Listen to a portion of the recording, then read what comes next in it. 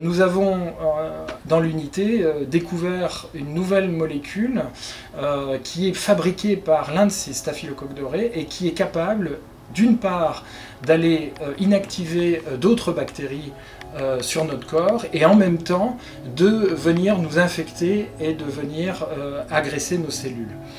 Et avec l'aide d'une collaboration avec des chimistes organiciens de, Rennes, nous avons transformé euh, ce peptide naturel biologique fabriqué par des bactéries en des antibiotiques actifs euh, qui sont capables donc de garder cette activité contre les bactéries, mais dont on a complètement enlevé l'activité de toxicité pour nos cellules.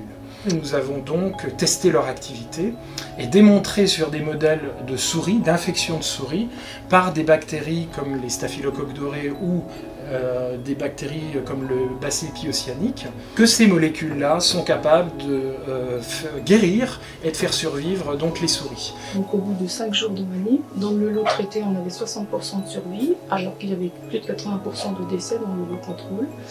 Et dans le modèle sous-cutané, les souris traitées avaient un, un, abcès qui diminuait fortement en taille, ainsi que le nombre de bactéries présentes dans cet abcès était fortement diminué.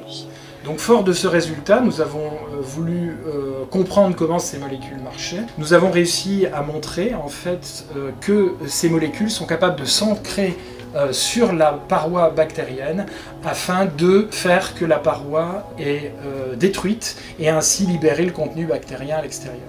Euh, nous devons montrer euh, dans ce qu'on appelle un essai de phase 1 euh, sur des volontaires sains si ces molécules s'avèrent actives et dénuées d'effets toxiques. Et ça, ça sera fait fort probablement dans le cadre du CHU de Rennes.